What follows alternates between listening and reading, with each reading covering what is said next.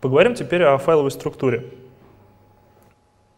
Bittrex фреймворк организован на файлах. Это значит, что весь код хранится в файлах и доступен для редактирования по FTP SSH. Это удобно для разработчика, так как он может подключиться через FTP и в своем редакторе смотреть код и редактировать. Давайте посмотрим на примере ядра как реализовано хранение э, классов и методов э, в э, Bittrex.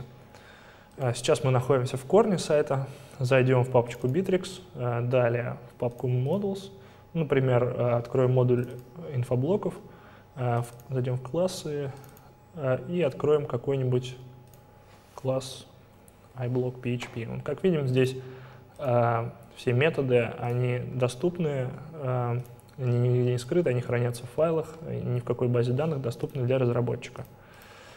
А, соответственно, также а, на файлах реализована структура а, сайта, разделы и страницы, они существуют физически. Это удобно с точки зрения пользователя, потому как управление файлами и папками похоже, управление сайтом похоже на управление файлами и папками. Давайте посмотрим э, публичные разделы, которые есть сейчас на сайте. Зайдем в публичную часть. Сейчас мы видим в меню у нас есть несколько разделов, компания новости, продукция, услуги, контакты. Зайдем в раздел компания. Мы видим, что э, в строке у нас добавился раздел company. Давайте посмотрим ниже. У нас здесь есть э, э, файлы, которые э, есть в этом разделе. В данном случае зайдем в файл history, мы видим, что в строке появился history.php. Давайте посмотрим, действительно ли этот файл присутствует физически на диске. Так, выйдем в корень раздела, а, смотрим, у нас есть действительно такая директория company, а, и действительно есть такой файл history, откроем его. И как видим, здесь э, вся верстка связана с этим файлом. А, это, опять же, повторюсь, удобно для разработчика, для пользователя. Можно открыть в редакторе, изменить как угодно. В редакторе с подсветкой это особенно удобно. А, стоит обратить внимание здесь на две а, подключение двух файлов. Это в начале header PHP и в конце footer PHP. Вместе с подключением этих файлов э, включается ядро системы, соответственно, открытие каждой страницы э, в структуре инициирует выполнение ряда функций. Эти функции можно посмотреть э, в документации. Давайте посмотрим. Документация по 1 из Bittrex, страница и ее порядок выполнения. Вот у меня открыто. Здесь мы можем посмотреть, что, какие операции выполняются при загрузке страницы по очереди. Э, давайте посмотрим работу в системе с динамической информацией. Например, откроем раздел «Новости». Мы видим, что открылась директория News. А, видим, здесь есть э, новости, список новостей. А, и есть возможность перейти на детальный просмотр новости. Например, нажмем «Читать далее». А, мы видим, что э, в строке у нас появился еще один раздел, третий. И давайте посмотрим, действительно ли так реализована структура а, на сайте. А, давайте выйдем в корень. А, видим раздел News, он действительно есть. Но у нас здесь нету такого раздела под цифрой 3. Вместо этого есть только один файл индекс PHP. Откроем его. Видим, здесь опять же подключается header PHP, выполняются какие-то операции, и здесь подключается компонент. Все дело в том, что Э, здесь реализован э, так называемый ЧПУ, механизм ЧПУ, о котором мы поговорим чуть попозже. Э, и, соответственно, структура на сайте реализуется динамически. В данном случае это новости. Теперь рассмотрим структуру, структуру файлов, служебных файлов, которые используются в системе. Откроем корневой раздел. Здесь мы видим ядро системы, все его основные рабочие файлы, компоненты, модули лежат в директории Bittrex. Также служебной папкой можно назвать папку upload, в ней хранятся загружаемые файлы, загружаемые через административную панель. И далее в корневом разделе можно называть несколько системных файлов. В частности, это access.php, в нем содержится указание по правам э, на папке. Э, далее файлы, связанные э, с меню, это файлы bottom меню PHP, top меню PHP, другие, там, left меню PHP, например.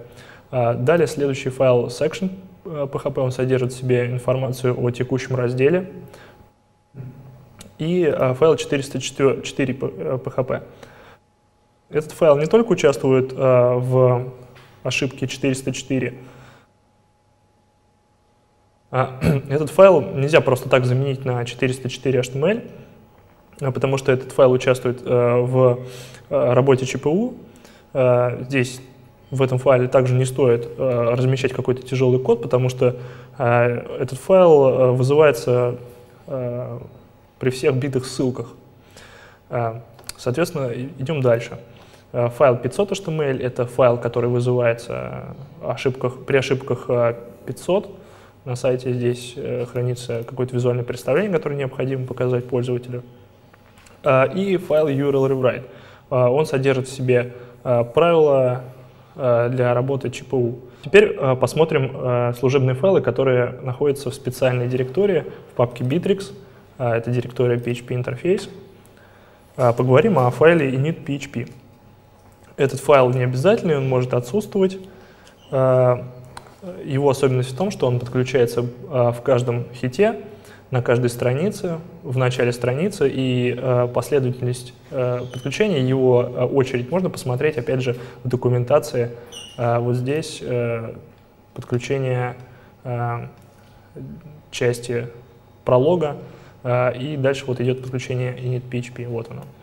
Э, соответственно, этот файл, как я говорил, подключается на каждой странице, на каждом хите и э, служит для того, что, э, для того, чтобы в нем хранился код, который необходим при исполнении на каждой странице. И так часто случается, что этот, этого кода становится много, он становится неструктурированный, представляет себя некую кучу. И я бы дал рекомендацию э, структурировать логически этот код, э, размещать его, группируя по файлам или классам, э, и подключать через директиву include. Э, давайте приведем простой пример о подключении функции через init.php. Создадим функцию, которая будет у нас э, принтовать какие-то переменные. Для этого нужно сначала создать сам файл init.php. У нас его нет, давайте создадим init.php.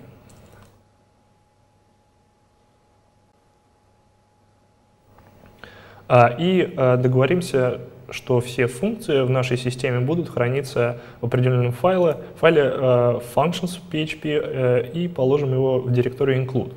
Создадим здесь директорию include. Вот она у нас создалась. И давайте создадим здесь файл. Назовем его functions.php. Вот он создался. У меня заранее есть заготовленная функция, которую я собираюсь э, использовать. А сейчас я ее вставлю и расскажу, как она работает.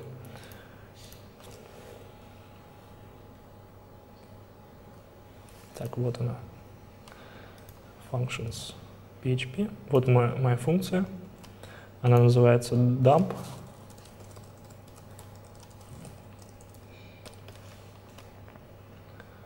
А, давайте расскажу, как она работает. Э, эта функция принимает три параметра. Один из них обязательный, это var. А дальше идут необязательные параметры, это die и all. Э, здесь э, проверяется, является ли текущий пользователь администратором или является ли параметр all равным true. Это сделано для того, чтобы можно было воспользоваться распечаткой, даже если ты не являешься администратором. А далее, после этого, после распечатки, идет условие на DAI, на завершение работы всех операций, которые идут после этого скрипта. Но это необходимо в случае, если нужно действительно завершить работу всего, что идет после него.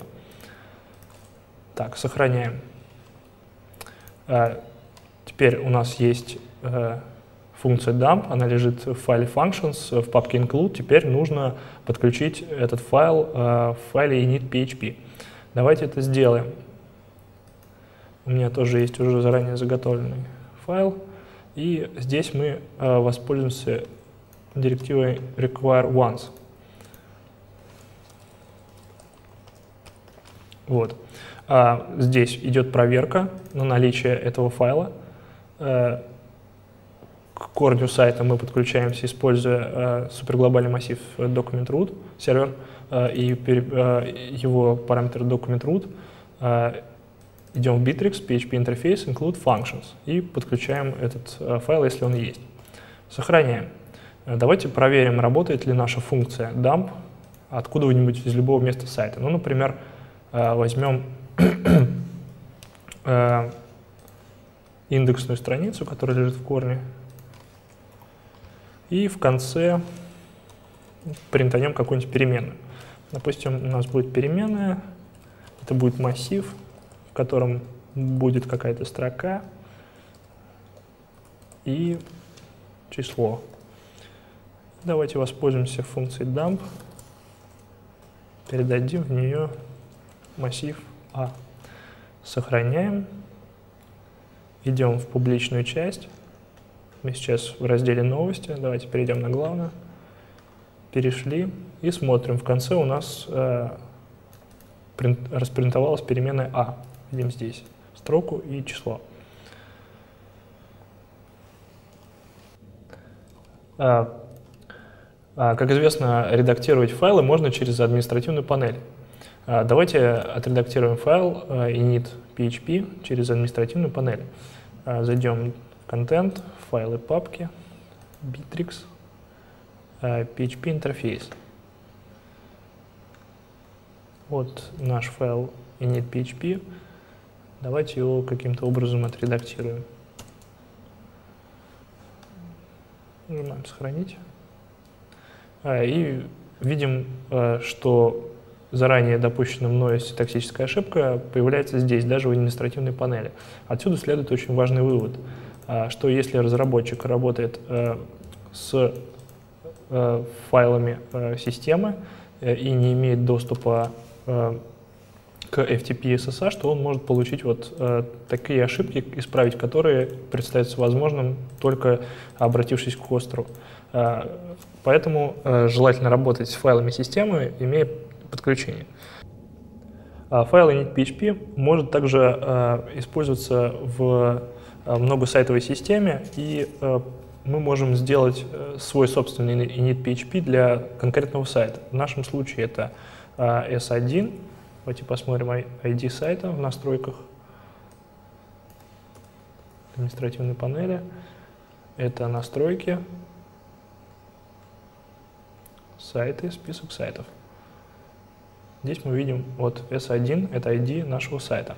Соответственно, э, для того, чтобы создать э, файл init.php, который будет работать только в нашем сайте S1, а здесь, в директории PHP интерфейс, достаточно создать э, директорию с идентификатором нашего сайта, и в, нем, в ней уже создать файл init.php. Эти файлы э, работают будут работать оба, тот, который находится в корне PHP, PHP интерфейса, тот, который находится а, в директории а, с идентификатором нашего сайта, но а, первым будет подключаться init PHP, а, который лежит в, э, в корне PHP интерфейса. Давайте добавим директорию S1 и создадим в ней файл init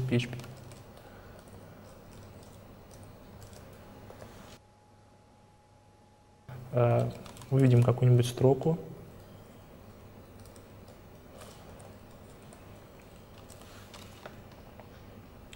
И выведем какую-нибудь строку здесь э, в файле init, который лежит в корне.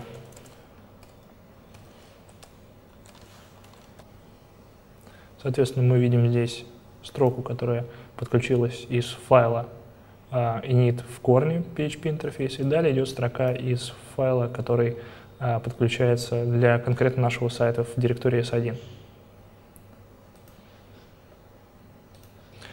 При работе с законченным проектом часто бывает потребность в том, чтобы закрыть пользователям возможность пользоваться сайтом на некоторое время. Для этого есть специальная технология, это закрытие публичной части. Настраивается она в главном модуле. Давайте посмотрим, как это делается. Заходим в административный интерфейс, настройки, настройки модулей, главный модуль. Идем в конец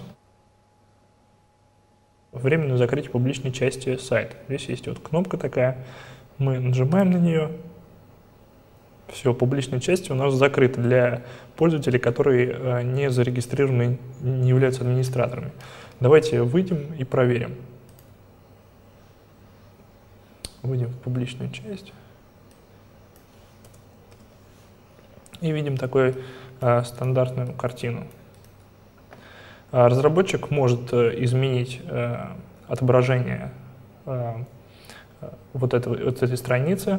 Он может скопировать файл под названием siteclosed.php в директорию php interface include и каким-то образом от, отредактировать вот эту страницу. У меня уже есть этот файл, давайте его скопируем в соответствующей директории include. Вот он сайт closed. И посмотрим, что у нас отобразится здесь. Сайт временно закрыт. Здесь у нас в этом файле просто содержится верстка, наипростейшая, в котором здесь мы просто написали надпись «Сайт временно закрыт».